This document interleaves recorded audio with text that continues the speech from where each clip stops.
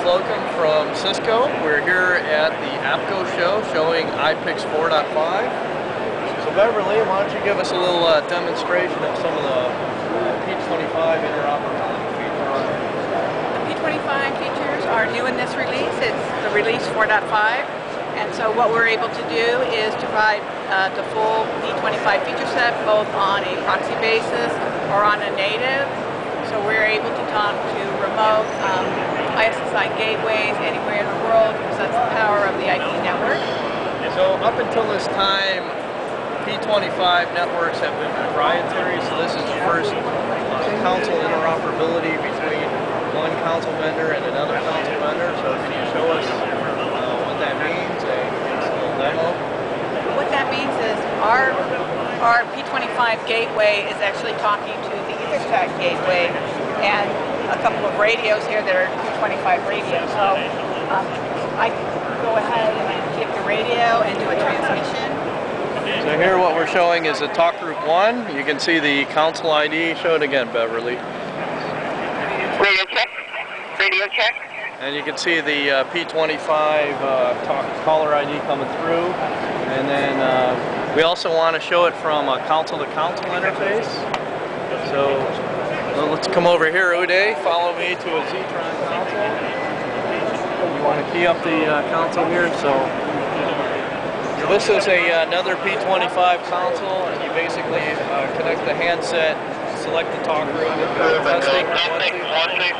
Testing, testing, one, two. And this is a uh, console-to-console. -console console-to-console uh, radio interoperability. Is there any other uh, features that we want to show here? Uh, there's also supplemental features. So as part of the P25, you'll get a uh, what's called supplemental features.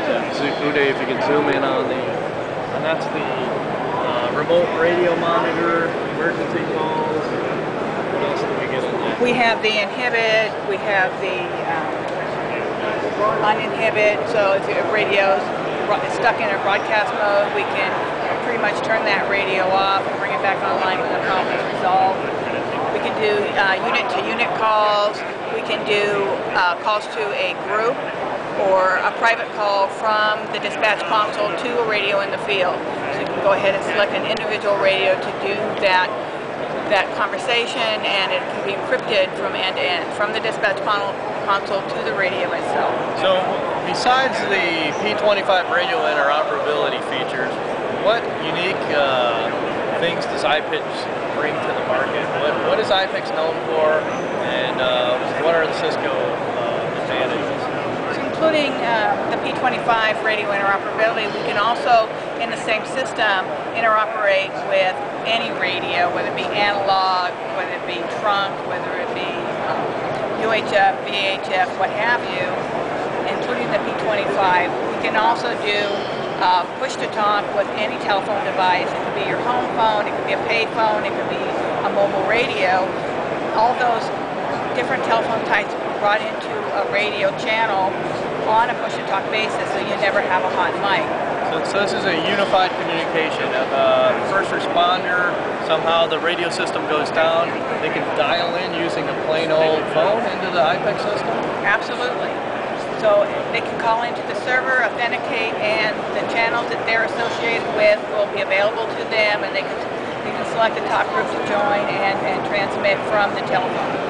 So what uh, thing that customers ask a lot is, can I use my mobile device to also talk on IPICS? You can use your mobile device. You can use it as just a basic push-to-talk device by dialing in or, or being patched into a radio channel.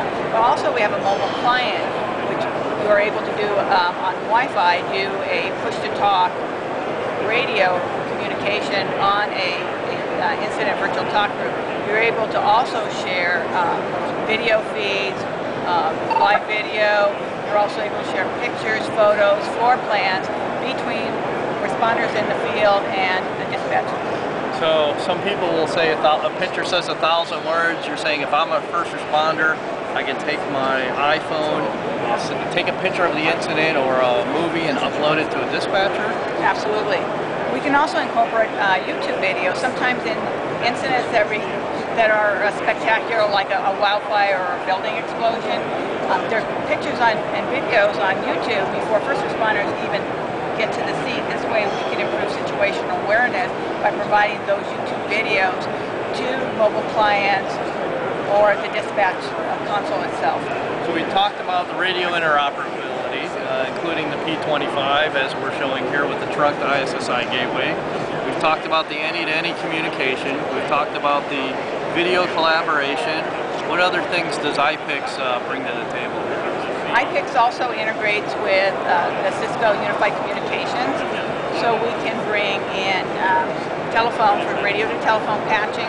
We also have a IPICS client for the IP telephone where you can log into your to IPICS, authenticate, and be able to do on a push-to-talk basis join any radio channel that you're associated with. In addition to that, we can send notifications out for people who need to join a, a talk group by sending them a text message, an email, or even a voice message to, that instructs them to, to join a talk group in case of a, a certain event. So you have, uh, you're mentioning incident management as well as policies? Yes. Okay, so you can invoke a policy from a Cisco phone or by dialing into the IPICS server and let's, let's say an earthquake happens, you can invoke that policy to bring all these users into the same virtual talk group?